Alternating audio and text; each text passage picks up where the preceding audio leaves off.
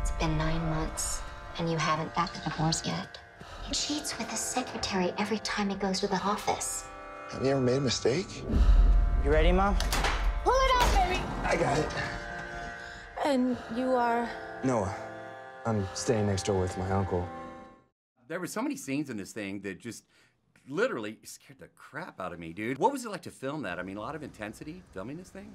Uh, Noah Sandborn is this kind of two-sided character, uh, but he doesn't start that way. He he starts out as the perfect kind of guy, you know, everybody's dream guy, and uh, it's not until love gets in the way and then he starts going crazy in his own mind and, and feels like there's you know no wrong avenue or venue that he, he can do to profess his love and show Jennifer's character that he's willing and able to do anything for her. So um, that's the intense part. What was it like to work with Jennifer Lopez?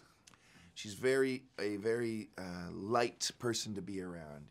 Uh, she laughs. She doesn't take herself seriously at all. Uh, you know, she's uh, just fun to be around, man. She's you know she's a normal chick, as normal as a as a megastar uh, entertainer like her can be, a world famous entertainer.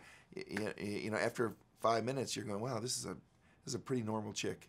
Working with JLo was one of the most eye-opening, amazing experiences I've had in a while. Um, just because I learned so much and I had so much fun, and it was just, it was awesome. I don't know how to really explain it other than that, but um, sitting back and watching her do her thing made me inspired to become a better person and made me want to work that much harder to to grow as the person she has. What do you think is gonna happen here? I'm never letting you go.